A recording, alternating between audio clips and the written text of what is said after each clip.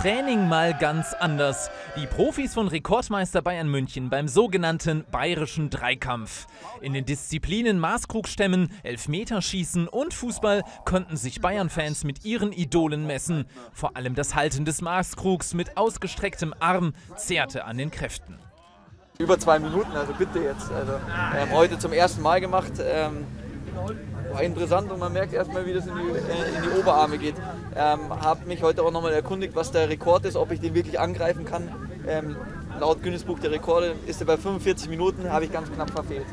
Ein neuer Rekord blieb auch den Nationalspielern verwehrt, die nach der Länderspielpause erst wieder zur Mannschaft hinzustoßen. Stattdessen im Gepäck viele Tore und Punkte in der WM-Qualifikation.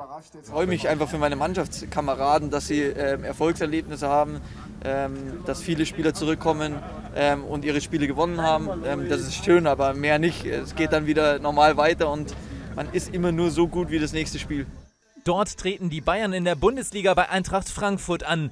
Der Auftakt zu drei englischen Wochen. Vor allem in der Phase dann wichtige Wochen. In der Bundesliga kann man äh, vorne bleiben, in der Champions League kann man äh, einen wichtigen Schritt machen in Richtung äh, Achtelfinale auch in den Wochen. Ein straffes Programm, für das der deutsche Rekordmeister aber auch schon ein Erfolgsrezept parat hat. Durchhalten und Zähne zusammenbeißen.